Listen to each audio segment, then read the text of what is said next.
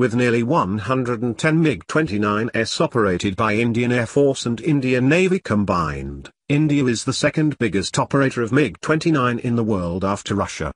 Today, the EF fleet of MiG-29 is going through a customized upgrade, drawing on both the SMT upgrade package of MiG-MAPO plus unique India-specific items such as a special DRDO-developed electronic warfare suite. The 11 Base Repair Depot, 11 BRD, of Air Force Station at Ojhar in Nashik which undertakes maintenance and overhauling MiG-series combat aircraft, is currently engaged in upgradation of MiG-29. After transformation of MiG-29 into MiG-29 UPG, they have transformed from air superiority fighter to multi-role fighters, and remove its primary deficits in terms of its older avionics and limited fuel capacity. Originally AF MiG-29 are believed to have received limited upgrades already, including local terrain RWRs plus improvements to the radar to the N019Me standard.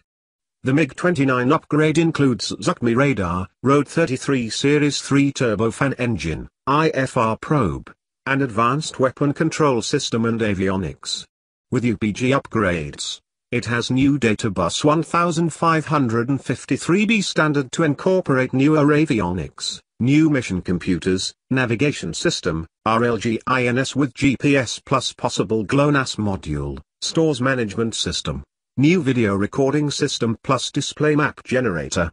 Glass cockpit with new HUD, 2 MFDs, HOTAS and is also compatible with latest missiles to launch multi-dimensional attacks. RAM for both external and internal systems.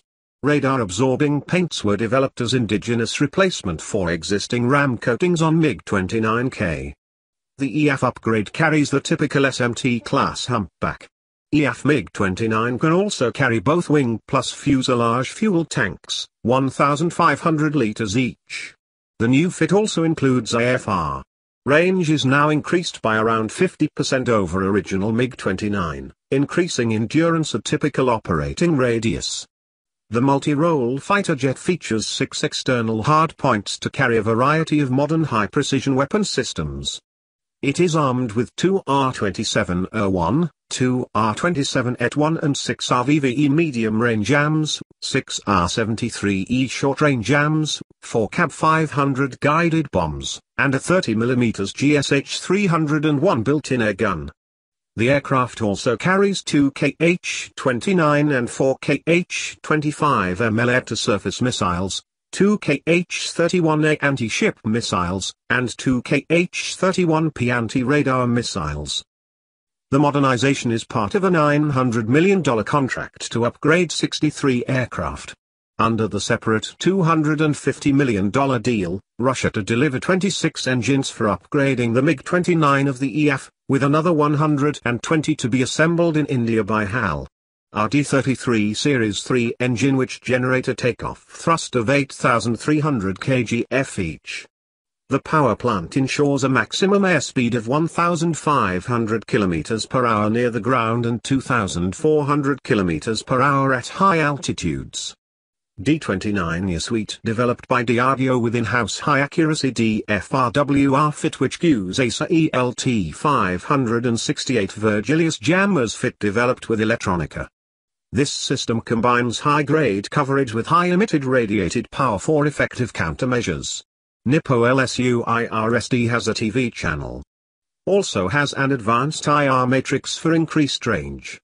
The EFSMT upgrade does not have the fuselage-mounted pod, so it cannot track ground targets. EF will use the Litening instead, but rest applies for the forward-facing IRST. Zhuk-ME multifunction radar with A2A-A2G modes. New IFF, Zhuk variant for IAF is Zhuk M2E, with an improved signal processor over Indian Navy MiG-29K which received the Zhuk M1E. The improved processor would allow for improved raid assessment, and non-cooperative target recognition. The Zhuk M2E have a faster processor, allowing it to classify targets by type, for instance, fighters, bombers and helicopters, and to break out formation targets flying at 20-30 meters apart. The radar can also be programmed to identify aircraft by type. In the case of a new type, it can record its reflected signal and later use it for identification. Total of three squadrons of MiG-29 jets in operation, one squadron consists of around 16-18 aircraft. The EF has equipped its Adampur-based squadrons with upgraded version of MiG-29, which had played a significant role during Kargil War in 1999.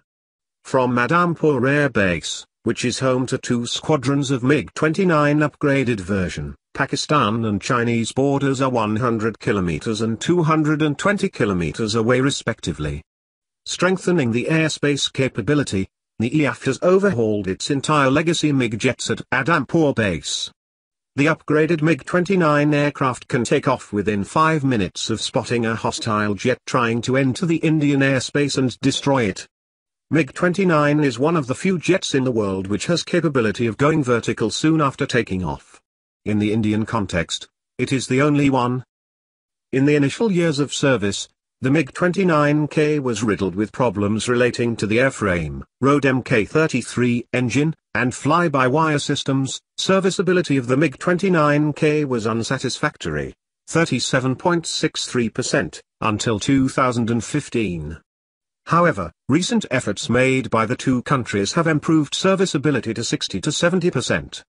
Now the Indian Navy seeking help from Russia to increase the serviceability from the present 60% to up to 80% or more.